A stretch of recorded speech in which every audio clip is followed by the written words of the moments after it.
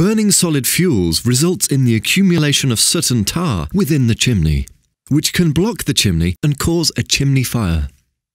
Therefore, the chimney should be swept regularly. Cleaning will ensure that the chimney operates effectively and reduce the spillage of smoke into the room. But hiring a professional chimney sweep can be expensive. The Smart Sweep Soot Eater offers a simple and affordable method to clean the chimney yourself. This drill-driven cleaning kit removes even the most stubborn deposits without damaging the flue liner. As the lengths snap together tightly and are not screwed together like traditional systems, the Smart Sweep may be rotated in either direction. The flails fly outwards and adapt to a wide range of flue shapes and sizes.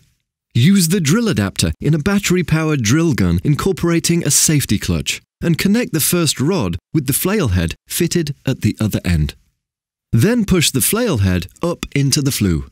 Now start to rotate the rod while moving it up and down.